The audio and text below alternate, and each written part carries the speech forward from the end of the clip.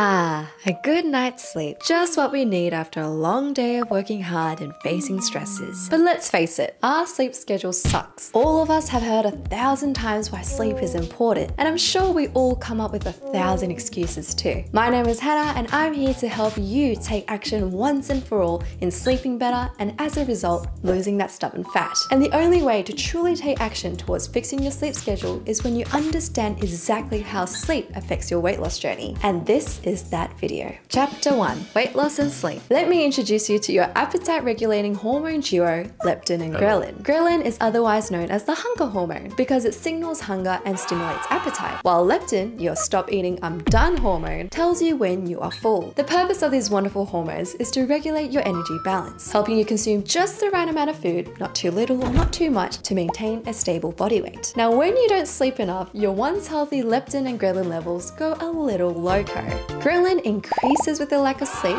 whereas leptin decreases with a lack of sleep. This means you'll feel a ravenous hunger that you can't satisfy, resulting in eating more food and more often as well. Someone from our weight loss Discord server, hi if you're watching, mentioned the difference in food cravings between sleeping 7 to 8 hours and being sleep deprived was crazy. In fact, they mentioned that you could probably find a correlation between the days they had lack of sleep to their Uber Eats orders. Think about it this way, when you don't get enough sleep, your body tricks you into thinking it needs more food, even though your actual energy needs has not changed. It's like your body has set off a false hunger alarm. To see this in action, let me introduce you to a fascinating study with 80 overweight participants. These participants were sleeping less than six and a half hours each night. The study had two groups. One group stuck with their usual short sleep, while the other group aimed to boost their sleep to eight and a half hours each night. The results were eye-opening. The group that enjoyed the extra sleep ended up consuming 270 calories fewer each day, and as a result lost roughly a pound over two weeks. Meanwhile, the group that didn't change their sleeping patterns ended up gaining around a pound in the same time frame. Not only does lack of sleep affect how much you eat, but it also affects what you eat as well. When you're sleep deprived, you especially want to eat foods that are rich in carbs, sugar, and salt. We're talking bread, pasta, pizza, sugars, lollies, you name it. Everything under the sun that is unhealthy for you, you begin to crave. This rings true to me as well. Four years ago when I was at my highest weight, that was the year I slept the least because I wasn't conscious of my sleeping schedule. And that same year, I also ate an immense amount of Korean fried chicken, boba, and takoyaki. Coincidence?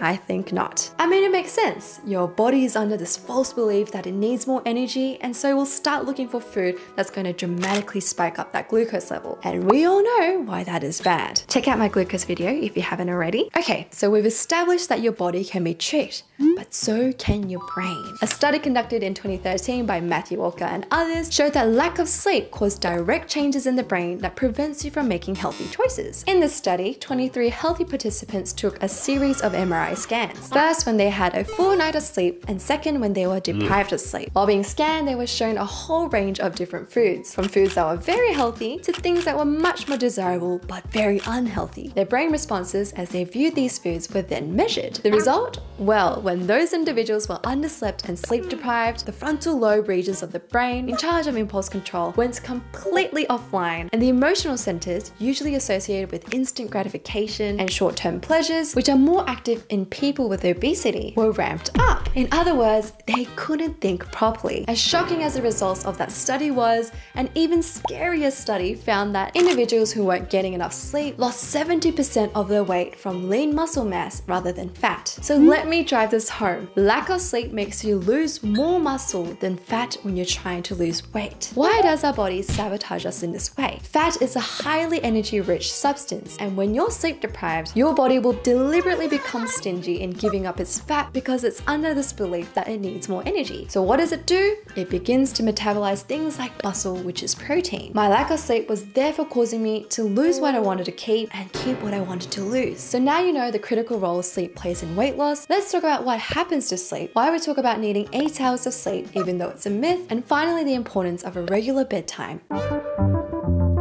Let me introduce you to your two sleep buddies, REM and non-REM. These are the two different types of sleep. In terms of weight loss, your body non-REM sleep is the most important. Non-REM sleep is where deep sleep happens and is where your body repairs, strengthens, and recalibrates itself. More importantly, during deep sleep, your body is able to regulate its sensitivity to insulin, which in turn improves blood sugar control for the next day, meaning you'll use energy from food more efficiently, feel less tired, and manage your food cravings. So how do we make sure we get enough of our non-REM sleep? The answer is easy and one I'm sure you've heard before. Sleep at a regular time each day. I know this is difficult, but a regular sleep schedule is what our bodies crave and need. The internal clock in our bodies, known as circadian rhythm, ticks to the cycles of the sun and moon and tells us the best times to eat, sleep, and wake up. The key point here is that this internal clock can only do its job through regularity. When we go to sleep at different times each day, our internal clock slowly goes out of alignment, which begins to affect our sleep. One way this happens is this. The majority of our non-REM sleep occurs at a set time each day near the start of our sleep. In a way, your internal clock schedules an appointment for you to have most of your non-REM sleep at a set time period each night. And when you decide to sleep later, you end up missing out on your appointment. Even if you got your full hours of sleep, the fact that you slept later means you would have had more REM sleep compared to your non-REM sleep, each which have different benefits. So we now know we sufficiently need both REM and non-REM sleep for optimal performance. As a general rule, we should sleep earlier to give our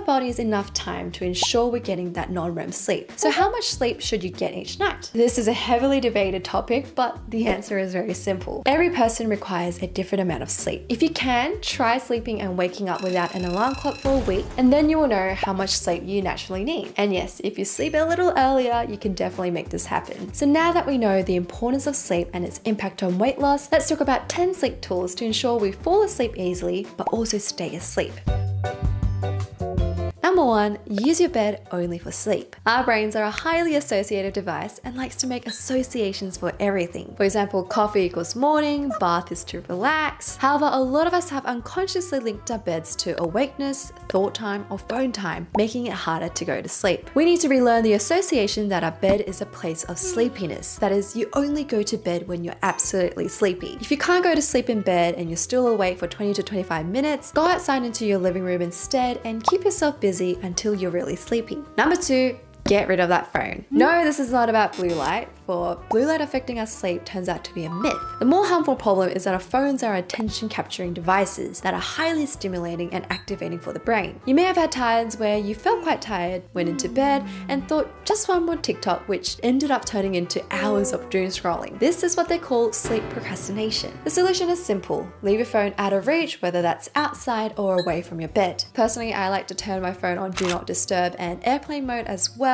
Now, if you have to use your phone in your room, give yourself yourself the rule to only be using your phone while standing up. Number three, temperature. We can facilitate sleep by lowering our core body temperature. This can be directly done by making your room cool in advance by opening up your windows or taking a warm bath or hot shower before bed. Warm showers help our outer surfaces to warm up, which in turn helps our core to cool down to fall asleep. We want to keep our temperature to be cool as we sleep and to rise up when we wake up. That's why cold showers in the morning work in helping you feel awake because your outer surfaces cool down and our core temperatures rises. Number four, exercise and eating time. Try to stop eating three hours before you go to sleep. If you find yourself too hungry to go to sleep or just need a bedtime snack, try to stick clear of simple carbs. These are turned into energy very quickly, raising up our core body temperatures and making it harder to fall asleep. The same goes with exercise. Try exercising either early in the morning or late afternoon instead of right before you go to sleep so you can optimize metabolizing those calories. Number five,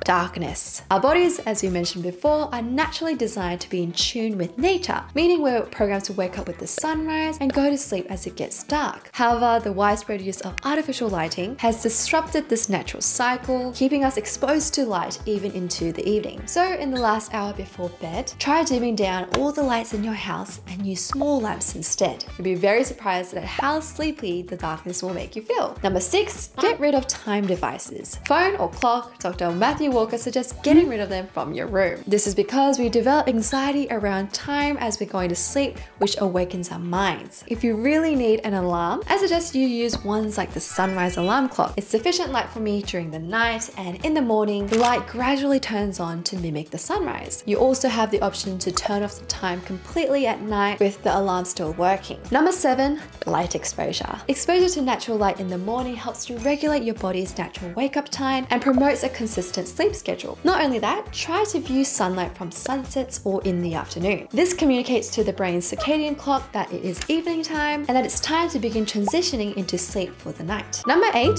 don't compensate for lost sleep. Don't sleep in, don't sleep earlier, don't take a nap, and don't up your caffeine dose. This is so that we don't disturb our internal clock. All these things I just mentioned are short-term gains, but long-term losses for your sleep schedule. Hold it out as close to your natural bedtime. Number nine, journal and meditate. It's always right before I go to sleep that I start thinking about how my day was, how yummy lunch was, random content ideas, or just ruminating about things I should or should not have said. As we said before, we can't associate our beds to thought time. So instead, empty and dump your thoughts and your feelings into a journal before you go to sleep. Meditation is also a great way to shift our focus away from anxious thoughts and improve sleep quality. And finally, number 10, have a bedtime routine. Sleep is like landing a plane. You need to slowly ease into the landing. Likewise, we need to slowly wind down when we're going to sleep. Combine all the hacks above. Have a warm shower, dim the lights, have a light stretch, read a book, or meditate. Once you figure out the approximate time you fall asleep, give yourself an hour beforehand for your bedtime routine. Let your body and mind know that it is time for sleep. And with that said, that is the end of today's video. Now that we've spent so much time in explaining why sleep is important for weight loss, I hope you guys can start incorporating ways to prioritize your sleep. I'll see you guys in the next video.